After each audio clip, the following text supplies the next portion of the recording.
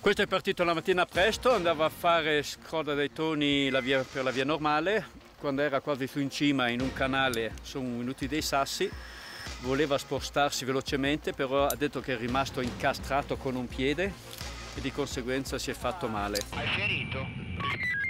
Gabriel vira verso la parete, il più vicino possibile. Christian deve poter valutare le condizioni dello scalatore con una semplice occhiata.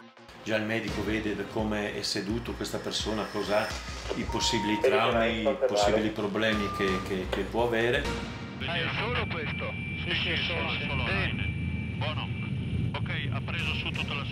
Da lì è riuscito ancora a scendere per 150 metri, solo che a un certo punto non ce la faceva più e ha chiamato giustamente soccorso. L'infortunato zoppica vistosamente, è cosciente e non sembra avere altri traumi, ma è bloccato senza imbrago su una cengia di 50 cm. Sotto di lui uno strapiombo di 800 metri. Vuoi che mettiamo i nove rinvioli? No, questo lo prendiamo con il cielo, penso. Eh. Qui col vericello?